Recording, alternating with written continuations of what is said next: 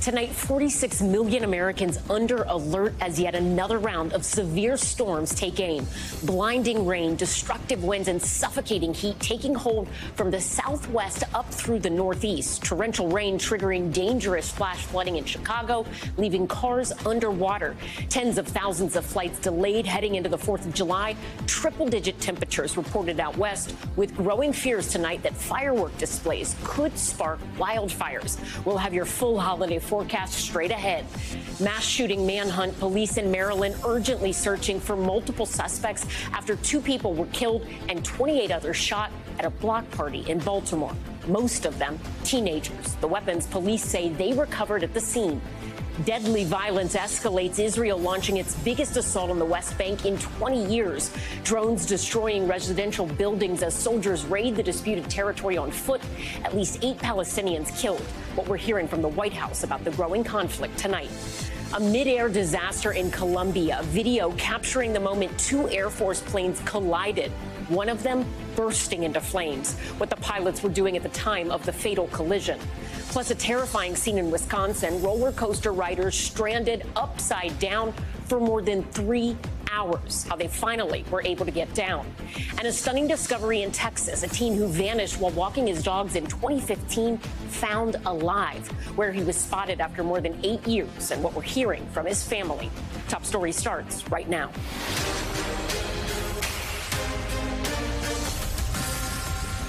Good evening. I'm Ellison Barber in for Tom Llamas. We begin top story tonight with the severe weather threat gripping the nation at the start of this holiday week. Torrential rain and winds gusting up to 60 miles an hour, leaving a trail of destruction across the south and the Midwest. The flooded streets of Chicago swallowing cars as water levels rapidly rose on Sunday. The city forced to reverse the flow of the Chicago River, sending water into Lake Michigan to try and stop the surge.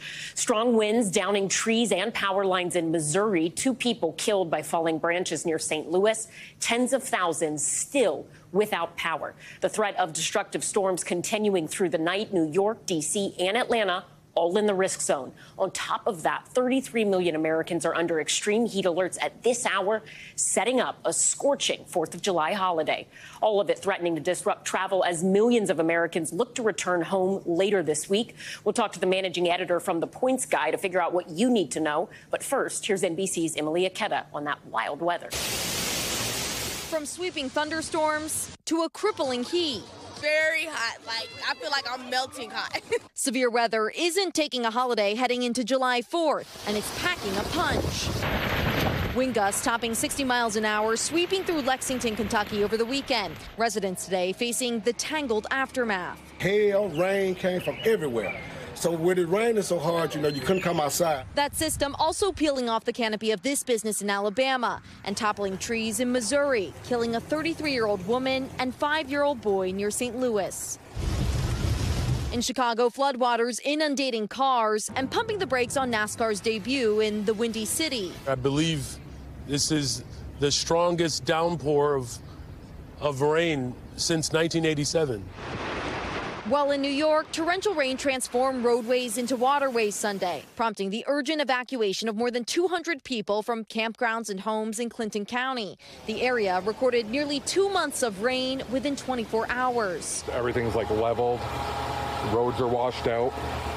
Looks like a war zone. Meantime, airline delays and cancellations continue to pile up, with more than 28,000 flight disruptions since Friday. I am just going to stay at home and be safe. And while the record heat may be easing in parts of the South, it's intensifying elsewhere. 33 million baked in heat alerts today, with Las Vegas topping a sizzling 112 degrees. We're going over to a friend's house whose home is air conditioned. The western heat wave sparking wildfire concerns this July 4th. Salt Lake City joined the growing list of cities replacing fireworks with a drone show. As weather extremes reshape July 4th celebrations coast to coast. Emily joins us now from Long Island City here in New York, where many plan to gather to watch the fireworks tomorrow. Emily, will severe weather disrupt the fireworks where you are or in other parts across the country? Well, Ellison, nearly 50 million Americans, while they are in the line of severe weather along the East Coast and in the northern plains, the overall storm threat should actually take a step down in time for tomorrow night's fireworks displays, but it could be hit or miss here in New York. Barring any severe conditions like lightning, the Macy's 4th of July fireworks should go on rain or shine. Ellison? Emily Ikeda in New York, thank you. For more on the extreme heat and storms, let's bring in NBC News meteorologist Michelle Grossman. Michelle, what are the biggest weather concerns as we head towards the 4th of July? Hi there, Ellison. Well, it's more of the same. We've been tracking heat in place, also some really stormy conditions, unusual severe weather for this time of year. And we're tracking that once again tonight. We're looking at radar. This sort of tells the whole story. Lots of showers and storms across the area. Where you see those brighter colors, those are the really heavy downpours. So we could see some flash flooding in uh, as well in many, many spots. So this is extending from the Intermountain West to portions of the Central Plains, the Southern Plains, the Southeast, the Mid Atlantic, the Northeast. You get the idea. We have lots of rain going on tonight. And as we zoom in a little closer, we do have severe thunderstorm watches, severe thunderstorm warnings. Warnings meaning that the storms are happening now or imminent. So the, severe thunderstorm watches, these are through 8 o'clock, 10 o'clock, depending on where you are. But these are the yellow boxes, including New York City, D.C., Philadelphia. Those are the places we're going to watch for the chance for a strong to severe storm. So still 46 million Americans at risk for, for some very strong storms. We could see winds gusting over 60 miles per hour, even up to 75 mile per hour winds in some spots, especially in the northern plains. That's over hurricane force winds. Damaging hail an inch in diameter or larger. A few tornadoes are possible. That threat is on the lower side, but still there. Uh, this is extending to portions of New York City, Washington, Richmond. Where you see this orange here, that's the likeliest spot. Also possible throughout that yellow shading as well. This is July 4th. We're still looking at the chance for severe weather. 14 million at risk tomorrow. Same scenario with damaging winds bringing down some trees. Also, some hail and isolated tornado is possible. And the real estate gets a little bit larger here. So we're looking at the East Coast still. The threat not quite as large as today, but still could see some scattered storms and also looking at the chance for severe weather in the middle of the country. It's all due to this cold front that's moving through some really moist air, and that's what we're going to be watching over the next couple of days, including July 4th. Ellison? All right, Michelle Grossman, thank you. Sure. Next tonight, with the extreme weather threatening many 4th of July celebrations, it is also causing major travel concerns and the problems for United Airlines it's continuing. United has had over 2,000 delays this weekend through today, which is the majority of delays we're seeing in the United States. Let's bring in Clint Henderson, managing editor for the Points Guy. Clint, I want to ask you first about United. Today is not considered to be a particularly heavy travel day, and we're still seeing United deal with these delays and really struggle. So, what is the airline doing about it? So the real story here right is recovery. So United is in recovery mode, but they still get a lot of delays and cancellations. There's multiple factors at play here, including air traffic control, shortage of staff are there, uh, but there's also some operational issues that United seems to be having. So this one bears watching the rest of the summer. I'm I'm mostly worried about thunderstorms, uh, which your forecast just pointed out are not great, uh, even for tonight. So that's where we're really focused. I will say United's done a remarkable job of recovering, considering where they were uh, this time time almost a week ago. Yeah, when you look at United specifically, the CEO has really come under a lot of fire in recent days. First, he was blaming the FAA for their recent issues. Then he flew on a private jet as his own airline was canceling thousands of flights. Should he have done anything differently to start?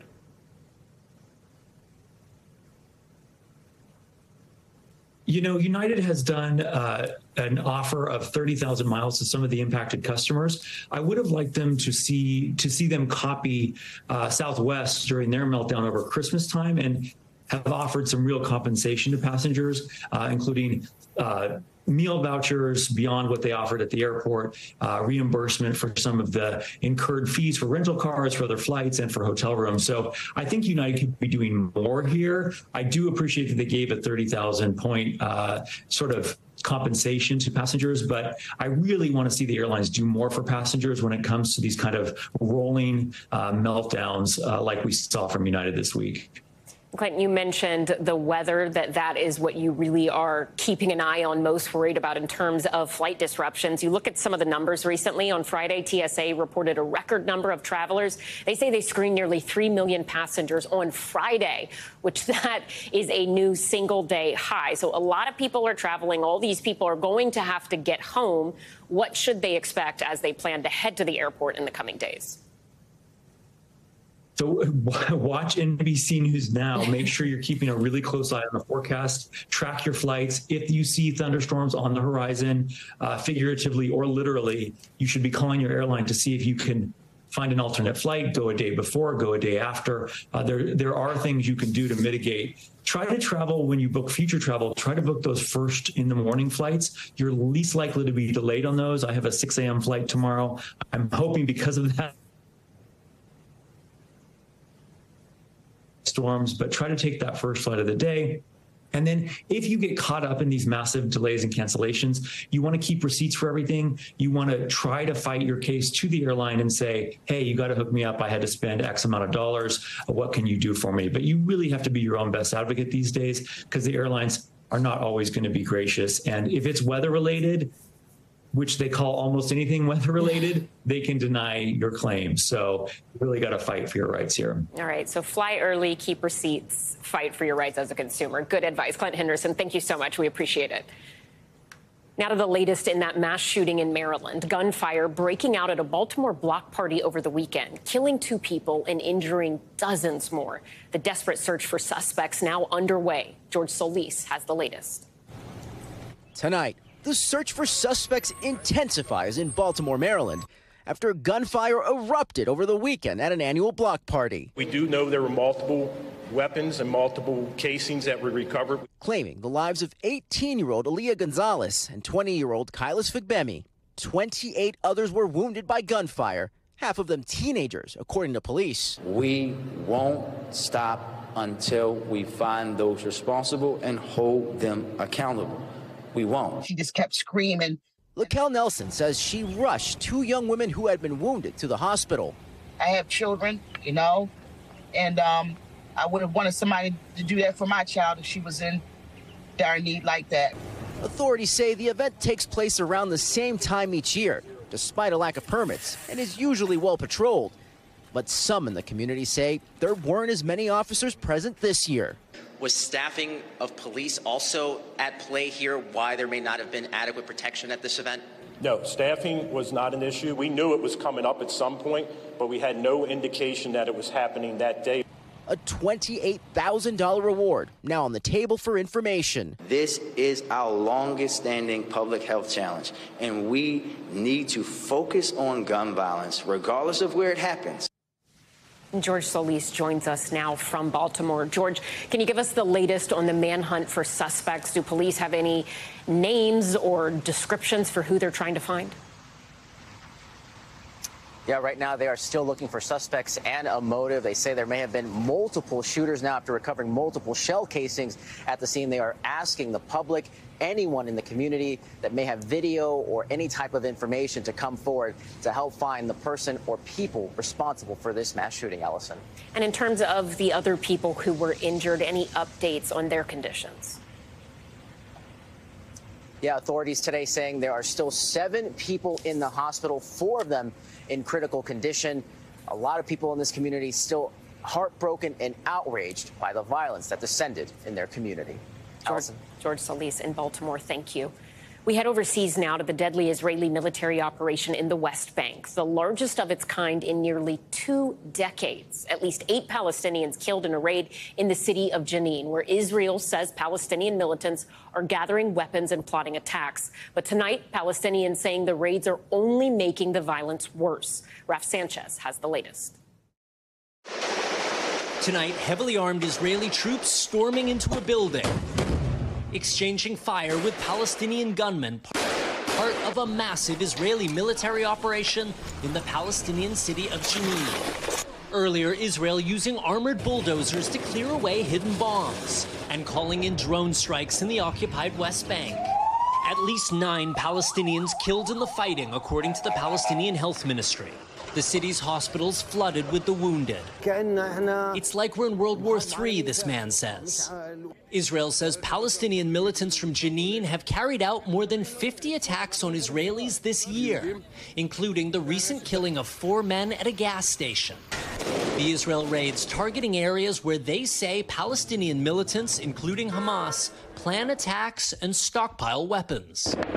But Palestinians argue these raids inflame the violence and that Israeli troops stand by during attacks by Jewish settlers on Palestinian villages. Tonight, Israeli Prime Minister Netanyahu. I have no doubt that as Israel exercises its inherent right of self defense, the United States will stand firmly by our side. Netanyahu's conservative government is facing major protests at home and tension with the U.S. over its policy of expanding settlements. And in a sign of those tensions, President Biden has still not invited the Israeli prime minister to Washington, although the White House did say today it supports Israel's right to defend itself. Ellison? Raf Sanchez, thank you. Staying overseas, where France is bracing for another night of potentially violent protest. Outrage continuing a week after police shot and killed a teenager during a traffic stop. Matt Bradley is in Paris with the latest. Tonight, France preparing for another night of protests. Capping off a week of extraordinary unrest, even for a country where violent political protests are ordinary. Videos show scores of people setting off explosives in the streets, ransacking stores, and torching cars and buses. The protesters furious over the killing of a 17 year old of Algerian descent, identified as Nahel, at a police traffic stop last Tuesday. But last night, the violence appeared to subside. Police arrested only 157 protesters, down from a high of more than 1,300 Friday night. But Parisian public officials said that could change at any time. Well, we're always worried. It's true that it's died down, but the causes that created the violence haven't disappeared. So there's always a, a risk. The violence may have diminished after Nahel's family pleaded with the protesters to stop the destruction. But a week of street fighting has also outraged the French public. One incident in this town was particularly shocking. Rioters tried to set fire to the home of the mayor of a town outside Paris. His wife was badly injured when she tried to flee with the couple's children. In that town today, the mayor was celebrated as a hero. This place has emerged as a center for those who say enough is enough with protesting.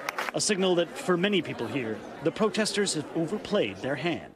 Yeah, listen, so after this week of searing violence all throughout France, once again, the Interior Ministry here in France has announced that they're going to be deploying about 45,000 police officers all across the country, preparing for yet another nightmarish night. But if it's true that this violence has finally ebbed, then tonight will be the big test. If protesters don't come out in force, then the police, politicians, and especially the French public may be able to look forward to the end of this horrific week. Ellison? Matt Bradley in France, thank you. Back here at home to Florida, where a sweeping immigration crackdown went into effect this weekend, and it is already sparking concerns of a worker shortage. NBC's Gabe Gutierrez has more. The new immigration law that took effect July 1st has prompted protests in Florida. We are people too. We are all people. We are not illegal. The state's Republican Governor Ron DeSantis signed the bill in May, just weeks before he announced his run for president. It's easier to come to this country illegally than it is legally. The law bans local governments from issuing ID cards to people who cannot prove citizenship. It requires hospitals that accept Medicaid funds to ask about a patient's citizenship status. It also increases penalties for people who hire or transport undocumented immigrants. And it expands the use of E Verify, a federal database employers can use to check a worker's immigration status. We recently asked the governor what he would tell desperate immigrants fleeing violence in their home countries. Governor, wouldn't you do what you could to protect your family? Once Biden became president, he basically said, come, and so they're coming. And so, in that sense, you know, I do have sympathy uh, for the predicament that they found him in because I think they've been sold a bill of goods. At the other, at the other, on the other hand, you know, we just have to have a rule of law in this country. South of Miami, in these agricultural fields, Yvette Cruz with the Farm Workers Association of America says some migrant workers have already left the state. There would be pe- people who support Governor DeSantis would say that's a good thing. Uh, they would say that. I would just say, I tell them, okay, let's wait and see who's going to do the work that no one else is doing. We spoke with Lesby, who says she's undocumented and asked us not to show her face because she thinks the new law might make it easier for her to be deported. You're going to stay. ¿Te vas a quedar? Sí. ¿Por qué? Why? She tells me she plans to stay for now because this is her home, but that she and other immigrants like her now live in fear. Gabe Gutierrez, NBC News, Homestead, Florida. Now to the fallout from that Supreme Court decision late last week, striking down President Biden's policy of wiping away big chunks of student debt. Payments now scheduled to resume in October, but there are still ways to save. Tom Costello has more. After a three year payment hiatus during COVID, the clock is ticking down to a potential wallet buster. The Supreme Court decision means borrowers must resume paying off their entire student loans starting October 1st. I planned on saving for my home, uh, possibly starting a family.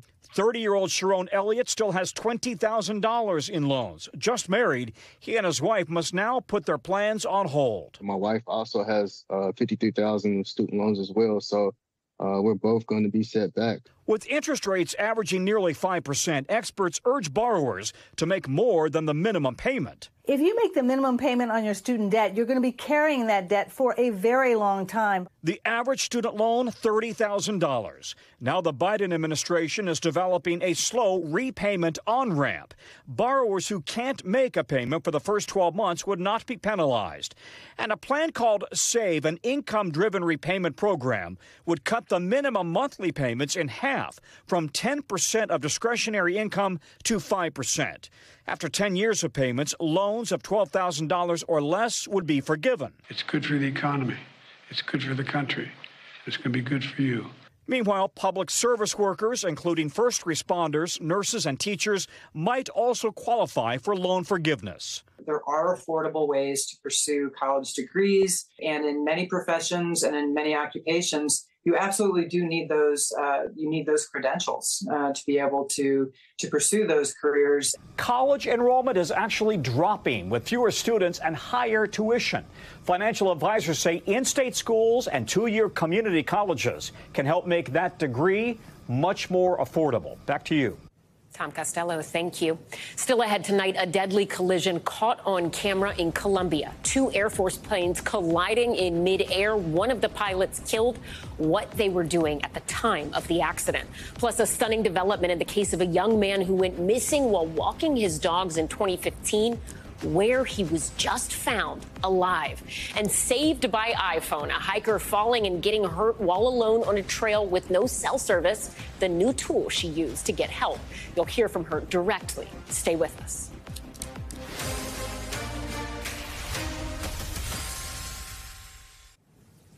We're back now with a miraculous breakthrough in a missing person case in Texas. A 25 year old man found alive after going missing eight years ago while walking his dogs. His family says he's now recovering as investigators try to piece together his disappearance. NBC's Kathy Park has the details. Tonight, a stunning update in the case of a missing teen who vanished eight years ago near his home in Houston. How'd this happen? Oh, we believe in miracles, and this certainly was a miracle. The family of Rudy Farias confirming he was found alive last Thursday, and a Good Samaritan spotted the now 25 year old unresponsive at a church and called 911. The last time she saw her son was in the spring of 2015 when he left the house with his two dogs and never returned. Rudy was just 18 when he went missing. At the time, detectives did not suspect foul play and classified his disappearance as a missing persons case. I'm scared because he's out there alone. The recent break in Rudy's story putting a national spotlight on a troubling statistic. According to the FBI, just last year alone, there were nearly 360,000 reports of missing children. In 2015, with no sign of Rudy, family members told NBC News that he had been suffering from depression after losing his brother to a motorcycle accident. Can't even tell you how many times we've searched and how many leads and tips came in.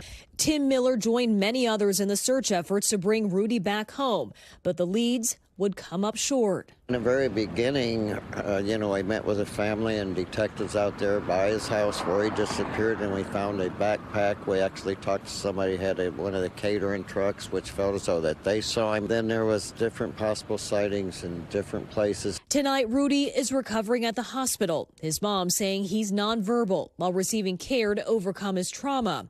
She said Rudy was found with bruises, burns, and scrapes. There's a lot of questions. There's a lot of investigation to kind of see what happened, where it happened, how it happened. A push for answers as we wait to find out where he's been all these years.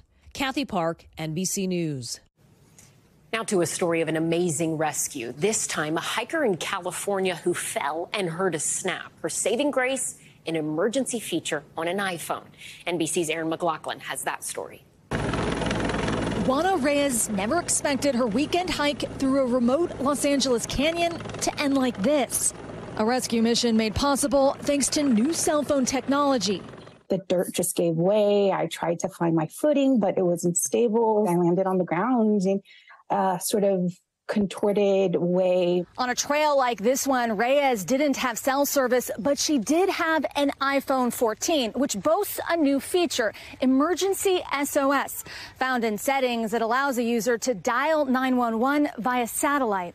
Lucky for Reyes, her hiking buddy knew how to use the new feature and successfully called for help.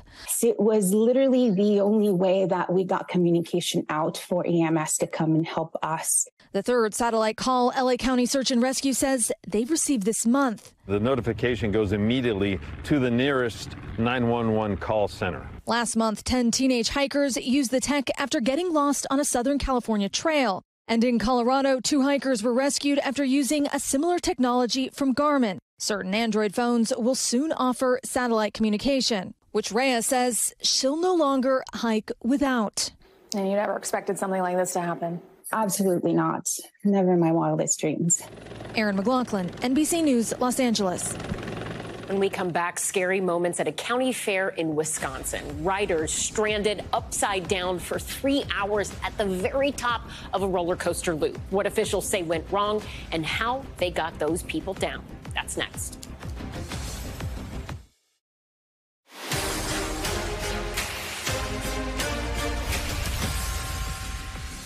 Back now with top stories news feed, and we begin with a manhunt in Washington, D.C. after a slew of explosions at local businesses. Authorities are searching for the man in this surveillance image. They say he used a Molotov cocktail and other explosives to target a bank, a Nike store, and a supermarket, all on Sunday. The blast shaking nearby homes and rattling residents. No injuries were reported. A $20,000 reward has been offered for any information. And a roller coaster at a northern Wisconsin county fair gave riders quite a scare. Firefighters using hydraulic ladders to rescue riders who became trapped upside down when the coaster stopped at the top of a loop. They were stuck there for three hours before crews were able to bring them to safety. Thankfully, no one was hurt. Authorities say the incident was likely caused by a mechanical failure. Thousands of hotel workers in Southern California are walking off the job. Members of Unite Here Local 11 t- taking to the picket line for a second day. They are demanding wage increases, better health care, and stronger workplace protections. Hotels impacted include the Ritz Carlton and Intercontinental near downtown Los Angeles. The Hotel Association of LA says management has been bargaining in good faith with the union. And all Christmas tree shops are shutting down two months after the company filed for bankruptcy. The Massachusetts based chain will close 70 remaining stores across 20 states after it defaulted on a $45 million loan, according to the Wall Street Journal. The home goods retailer planned to exit bankruptcy back in August, but worsening revenues meant they could not pay back that debt. The liquidation will begin next week unless a new buyer steps in. Now to campaign 2024, and Florida Governor Ron DeSantis facing fresh fallout for a new video his campaign shared on Twitter that some Republicans are now calling homophobic. The video blasting former President Trump for previous comments supporting the LGBTQ plus community. Trump's comments made in the wake of the deadly Pulse nightclub shooting. I will do everything in my power LGBTQ citizens. If Caitlyn Jenner were to walk into Trump Tower and want to use the bathroom, you would be fine with her using any bathroom she chooses. That is correct. The video does not stop there. It goes on to tout DeSantis' record of signing anti-LGBTQ plus measures into law as Florida's governor. Under an ominous soundtrack, it intercuts between headlines about those laws to images of DeSantis and then to various images, including some from the film American Psycho, to a gladiator movie, to pictures of male models.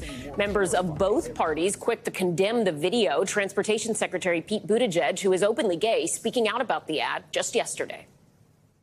I'm going to leave aside the strangeness of trying to prove your manhood by putting up a video that splices images of you in between oiled up shirtless bodybuilders and just get to the bigger issue that, that is on my mind whenever I see this stuff in, in the policy space, which is, again, who are you trying to help? Who are you trying to make better off? And what public policy problems do you get up in the morning thinking about how to solve?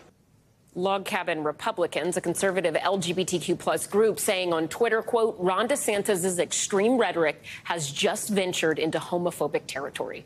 For more on this, I want to bring in Steve Hayes, founder and CEO of the conservative publication The Dispatch and an NBC News political contributor. Steve, thank you as always for being here with us. Uh, to be clear, this is not a video that was produced by the DeSantis campaign, but they did repost it on their social media. We've since seen the head of their war war room, other members with the campaign kind of doubled down on this on social media. What is the play here politically for DeSantis, and is it working? Yeah, I'll be honest, I'm not sure what the play here is for the DeSantis campaign. We have seen since he became a, a formal candidate and even before he announced, Ron DeSantis's campaign targeted toward the Trump base, the MAGA base, trying to peel off some portion of the Trump voters, the hardcore Trump voters, with the idea that he can later sort of pivot and appeal to a broader cross section of Republicans. That's what this feels like. It's of a piece with a lot of the kind of hand to hand combat that we've seen between the Trump camp on the one hand and the DeSantis camp on the other on Twitter in these online spaces. And my best guess, talking to some Republicans who are scratching their heads, is that this is just one of these Twitter fights that went way too far. And you know, in the in the current Republican Party, the last thing you do is apologize. So they're sticking with it. Mm. Uh, Steve, as we mentioned at the top, this video, it's not just people on the left who are criticizing it. It is Republicans, some big name Republicans. I want to play a little what former New Jersey Governor Chris Christie had to say. He is also running for the Republican nomination. Here's what he said about the video this weekend. I'm not comfortable with it, and I'm not comfortable with the way both Governor DeSantis and Donald Trump are are moving our debate in this country. It is a teenage, you know, food fight between Ron DeSantis and Donald Trump. And I don't think that's what leaders should be doing. And you said earlier this seems, in your view, like it might be some sort of Twitter fight that went too far, and then no one in today's Republican Party wants to apologize. I mean, how does this sort of thing land with your average Republican voter? And do you expect to hear anything from Governor DeSantis? Yeah, that, that's the, that's sort of the key question. I think with the average Republican voter, this just seems weird. I mean, if you watch the video, it's just a weird video. You're not even sure what the point he's making is. At one point, he seems to adopt the language of his harshest critics on the left and amplify them as to say Ron DeSantis is tougher than everybody else on these these issues that's not a that's not a, a, pitch that's going to appeal to a, a, vast majority of Republicans. Remember, if you look at the Republican Party, half of the Republican Party is for gay marriage. Sixty-seven percent of church-going people on a weekly or monthly basis are for gay marriage. This is just not an issue that animates most Republicans. Now, of that sort of hardcore Twitter online slice, this is an animating issue. This gets people. This makes people passionate but it's a change for Ron DeSantis. Remember in 2018, when Ron DeSantis was running for governor and he was asked about the debates over whether transgender people should be allowed in, in uh, opposite bathrooms, he said he didn't think it was worth his time to get into that. This is obviously quite a different Ron DeSantis. When you're looking at this campaign strategy, if there is a strategy here, which I guess at this point we don't know for sure what happens on Twitter, might not be an indication of something bigger. But if you just look at this moment and you look at the DeSantis campaign, he has made culture wars a very big part of his candidacy. He's talking about it all the time on the campaign trail. Some of that stuff might work well in a primary, but it's the forever question of how do you switch and kind of dial it back at times to appeal to a more general electorate. Is this one of those things that you think will come back to haunt him if he does become the Republican nominee? Yes, unequivocally. I mean, look, if, if this is not likely to appeal to the broad Republican Party, it certainly isn't going to appeal to Democrats and independents who are far to the left of most Republicans on this issue. I think that's what makes it such a curious play. And as to the strategy, I mean, I think we're in such a different moment politically. The way that campaigns are run these days. You have of young people operating Twitter accounts, operating social media accounts who are trying to win, you know, not the day. 10 years ago, 15 years ago, the argument in campaigns was can we win the day? Then it was can we win the morning? Now it's can we win this next 20 minutes? And I think that's what you're seeing here at play. When you look at this ad, Steve, the person that it was ultimately going after is former President Donald Trump. In this video, it shows him speaking, promising to protect the LGBTQ plus community in the wake of the deadly shooting at a gay nightclub in Florida that happened back in 2016. Uh, can you explain for viewers how the former president has navigated his relationships within the LGBTQ plus community? And do you expect him or his campaign to respond to this video? Yeah, it's a, it's a good question. Excuse me. Donald Trump has been kind of all over the place on this too. He's been, as as the video suggests, very welcoming of LGBTQ people in general and the Republican Party. He's lately taken somewhat of a tougher line, but it's hard to imagine or to understand whether that's Donald Trump changing a strategy or Donald Trump responding to this day to day combat with the DeSantis campaign. All right, Steve Hayes, thank you so much for your insight and analysis. We really appreciate it. Back now with top stories global watch, and we begin in Colombia with a deadly plane crash caught on camera. Cell phone video shows the moment two Colombian Air Force planes collided, one of them bursting into flames during a training exercise near a military base. The Air Force confirming Lieutenant Colonel Mario Andres Espinoza Gonzalez died in the accident. An investigation is underway to determine the cause. Torrential downpours unleashing catastrophic flooding in the eastern and southwestern provinces of China. Video showing surging rivers rushing into towns, destroying homes and washing away cars. At least 10,000 people forced to evacuate as the floodwaters rose. Some thankfully pulled to safety by boat. An estimated $79 million worth of damage already done. So far, no deaths have been reported. Next tonight to an NBC News exclusive with an inside look at a Taiwanese military base and how its forces are preparing for a possible escalation with China in the years ahead. NBC's chief foreign correspondent Richard Engel has that report.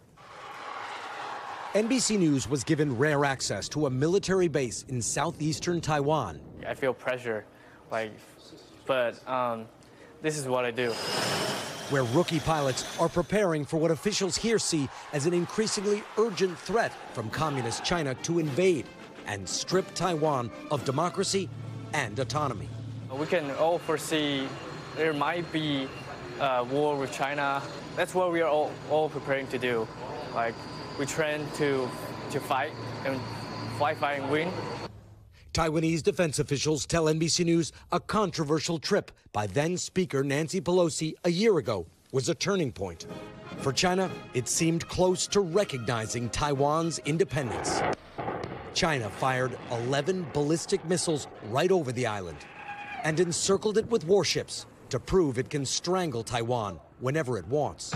It was a wake up call, and Taiwan's government is now hardening its defenses extending mandatory military service for men from four months to a year, making reserve training more intense and realistic, and pressing the U.S. for delivery of F 16s. Very nice to meet you. In Taipei, Taiwan's Foreign Minister Joseph Wu told us a Chinese invasion would have devastating impacts on the global economy. And we need to deter the war from happening. If there's going to be a war, it will have a major impact upon the rest of the world. And that is something that we don't want to see. Do you think that the United States would come to Taiwan's defense? Of course, I cannot speculate whether uh, the President of the United States uh, is going to enter war over Taiwan or not. Uh, what we need from the United States is for Taiwan to be able to defend itself. Taiwan would not get much notice of an attack. Chinese jets could cross the narrow Taiwan Strait in minutes. So pilots here say their main mission is readiness. Taiwanese officials do not believe an attack is imminent, but could be years away. Taiwanese military officials tell us they do not believe it's a question of if China will invade, but when. Richard Engel, NBC News. When we come back, a California hospital seeing double times 10. We will take you inside the LA hospital currently caring for 10 sets of twins, how the staff and new parents are keeping up.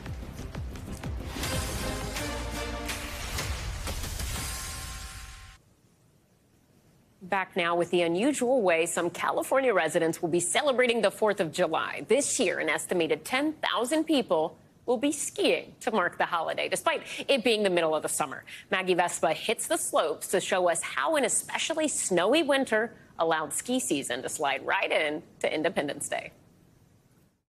Happy 4th of July!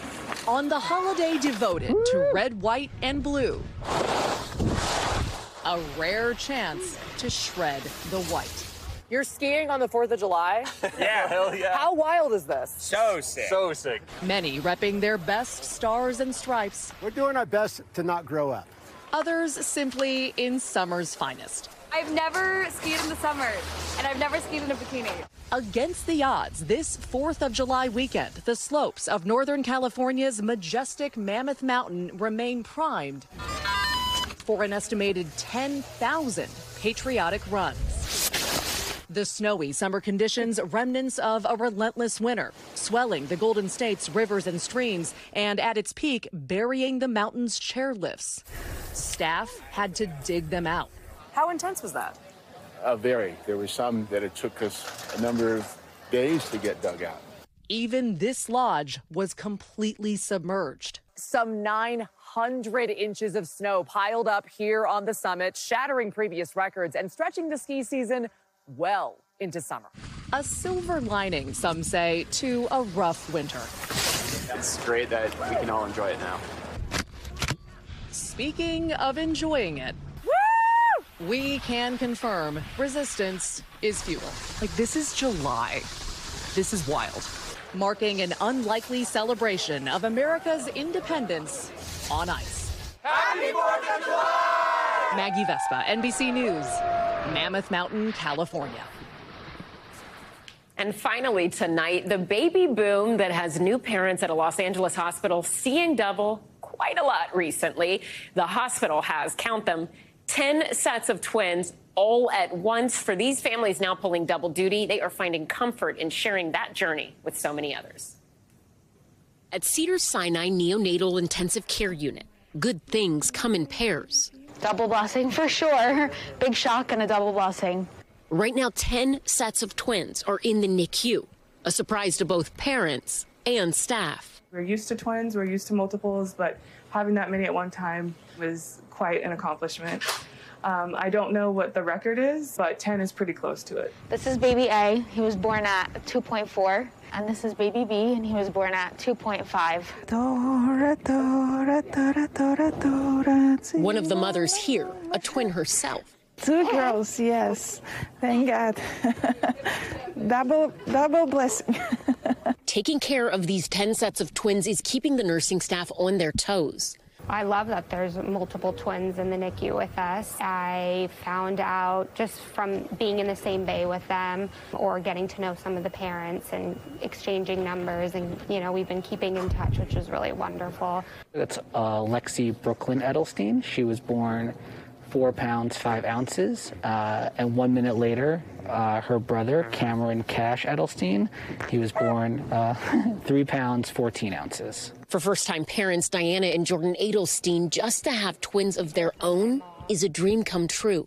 You know, we struggled a little bit with our pregnancy journey, and I had always envisioned having boy-girl twins, and somehow, by the grace of God, we were able to have that come to life, and it's been really amazing to see. Now the couple is thankful to share their twin tour with so many other families. To connect with other parents and kind of see their journey too. And it's, you know, it's comforting to see so many other families experiencing the same thing. And congratulations to all of those families. We hope sleep is in your future maybe soon. Thank you so much for watching Top Story. For Tom Llamas, I'm Ellison Barber in New York. Stay right there. More news now is on the way.